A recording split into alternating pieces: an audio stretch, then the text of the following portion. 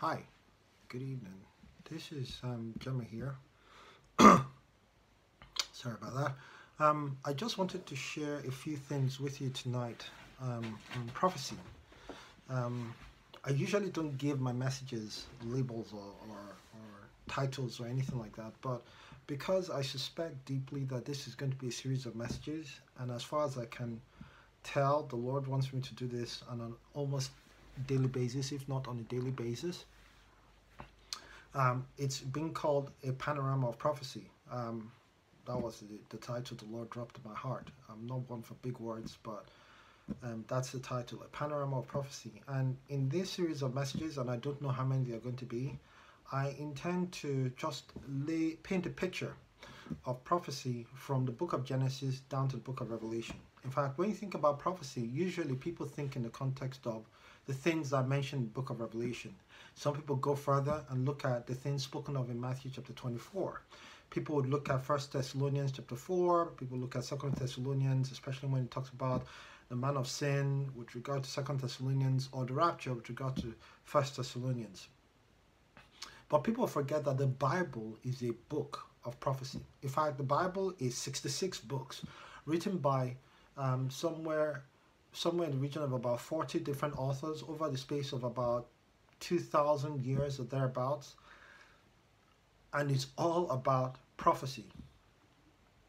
Starting with the book of uh, starting with book of Genesis and then culminating in the book of Revelation. And the interesting thing is, the book of Revelation doesn't even tell you everything. The book of Genesis doesn't tell you everything. Zechariah tells you some, Daniel tells you some, Isaiah tells you some, Amos tells you some. Um, we see some prophecy in different books, directly and indirectly, overtly and covertly. Prophecy is literally littered all over the Bible. And so that's where I want to start from, or that's what I want to talk about. I want to talk. I want to paint a picture about prophecy because I think it's on, on it's important that we understand the whole um, counsel of God, and we speak from from the context of the whole counsel of God rather than running off on tangents and picking one small thing in one small book and running away with it. That we understand the whole thing and then on the basis of that draw the appropriate conclusions. The, the Bible talks about, um, in fact, I'll, I'll, I'll, read it to you. It's in the book of Isaiah, chapter 28. Um, for some reason, I went and opened Isaiah 29 by accident. I'll read to you Isaiah 28 in verse from verse uh, 9. It says, Whom shall he teach knowledge? And whom shall he make to understand doctrine? Them that are weaned from the milk and drawn from the breast. For precept must be upon precept, precept upon precept, line upon line, line upon line. Here a little and there a little. Verse 11 says, For with stammering lips and other tongue will he speak to this people, to whom he said, This is a rest wherewith ye may cause the weary to rest. And this is a refreshing that yet they would not hear. But the word of the Lord was unto them precept upon precept, precept upon precept, line upon line, line upon line, here a little and there a little, that they might go and fall backward and be broken and snared and taken.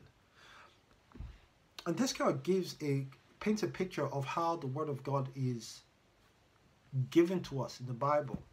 It's not given to us as one specific whole message.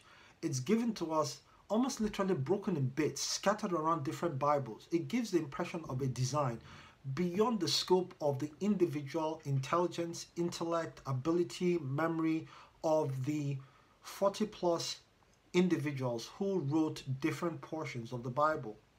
And, and, and one of the reasons why I mentioned this, apart from the desire for you to understand prophecy as a whole, is also this idea that this book or this book of the Bible, the, the, the Word of God, which has been assembled together, is not the work of men, but the work of God Himself.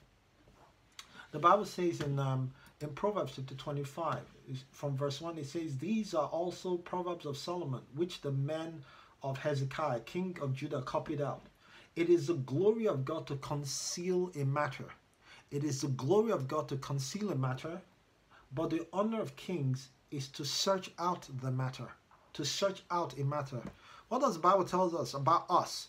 In 1 Peter chapter 2, verse 9, it says, We are a chosen generation, a royal priesthood, called to show forth the excellencies of him who has called us out of darkness into his marvelous light, or, or, or to show forth the excellencies of him who has called us out of darkness into his marvelous light. The Bible tells us that you and I are kings and priests.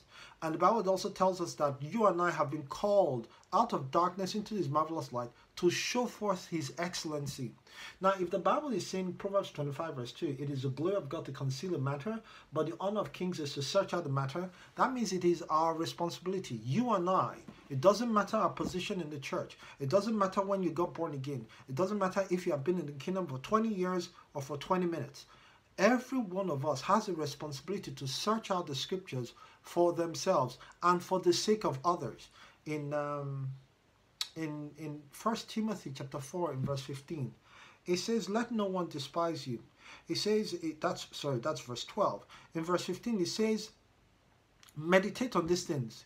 Give yourself wholly unto them. Give yourself wholly unto them, that those that, that you may save yourself and them that hear you that that that word there that that um, that command that word of exhortation is not just to pastors it's not just to bishops. Okay he was speaking to a bishop at the time but it's not just for pastors and bishops it's for you and i. It's for you and i. Why? Because god wants us to understand these things as individuals. If you think about a certain young man called steve or stephen in Acts chapter 6 and chapter 7. When you have some time, read the story. You'll see how Stephen was appointed as effectively an usher in the church. But here's something interesting. The Bible says Stephen did great miracles among the people. In other words, it wasn't because he was a pastor he did great miracles. He did great miracles despite only having the position of an usher in the church. Why? Because God intended for us to fully participate in these things. But that's not even where I'm going to. Look at how Stephen defended the gospel. Stephen from the Old Testament proved that Jesus was the Christ prior to being stoned to death. And he was an usher. In many people's eyes, an usher is probably just an ordinary guy. This guy spoke eloquently, defending the gospel, proving from the Old Testament that Jesus was the Christ. In other words, it did not matter what his position was, this guy had a vital relationship with the Word of God. Now, I want you to just consider something. Um, there's a famous man. He's um, he's gone to heaven now, but he said something very, very, very powerful about information. He studied information science. He went to the U.S. Naval Academy. Um, he was in, in the military for a bit of a while, and then he became a defense contractor before he became, um, quote unquote, a full time preacher and teacher. Um, his name, just in case you were wondering, is Chuck Missler. And he said something um, quite important some years ago, and I just found it. I've, I've, been looking for it, and I just found it. It's on the subject of informational properties, and I'll read it to you because it says it far more eloquently than I could ever do myself. Um, sorry, um, I just lost my earpiece there. I'll just put it back. Um, he says the hologram, so on informational properties, the hologram exhibits some very profound properties beyond the three dimensional image. In fact, it is one of the most profound means to distribute information throughout a given media. All of the information it contains is distributed over the entire Im image surface. One can remove a portion of the hologram without losing the image, drill a hole in the hologram, and one can still view the entire object by simply moving one's eyes one's eye to a more convenient angle. Some resolution or sharpness will be lost, however. Cut the film into pieces and each piece contains the complete image.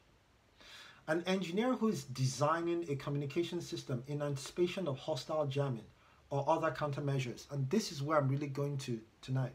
It says in a, a, an engineer who is designing a communication system in anticipation of hostile jamming or other countermeasures needs to employ several critical techniques to be effective. In addition to make it, to taking advantage of available error detection and correction techniques, he will also attempt to spread his message throughout the available bandwidth. He will avoid clustering his message into areas which would increase his vulnerability into jamming or interference. And I'll continue with Chuck's words. So these words are not mine, this is Chuck Missler's words. It is provocative to notice that the, that the biblical text evidences these same techniques. Where is the chapter on baptism? Or salvation or any specific critical doctrine. Every major theme is spread throughout the 66 books, making up the total message. There is no concentration of any critical element in any single location. One can tear out a surprising number of pages and still not lose visibility of the essential message. Some resolution or clarity would be lost, however. This design, intent of distributing the vital elements throughout the entire message system is even highlighted by Isaiah in the scripture that we quoted earlier, which is, Whom shall he teach knowledge, and whom shall he make to understand doctrine? Them that are weaned from the milk and drawn from the breast. For precept must be upon precept, precept upon precept, line upon line, line upon line. Here a little and there a little. Isaiah chapter 28, verses 9 and 10. I'll stop there just now. This is just a brief introduction to this. I'll do another one, but this time looking at Genesis chapter 3, verse 15. Um, as far as I can tell, I'm going to keep to this one. I know I'm, I'm rather inconsistent with putting messages out there, but um, on the one hand, I don't like talking just for the sake of talking. And in addition, life does get very busy, unfortunately. Um, so God bless you, and I'll speak to you soon. God bless you. Bye.